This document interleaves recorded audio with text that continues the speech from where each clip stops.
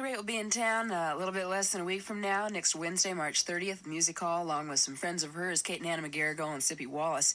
And that was a song called You've Been in Love Too Long, which is an oldie but goodie redone by Bonnie Raitt. Little Walter Jacobs, by request, on the harmonica did Roller Coaster. We heard Killing Floor by the Electric Flag. Uh, Eagles did Life in the Fast Lane, and you're still tuned to Radio 104 in Boston, WBCN. Happy.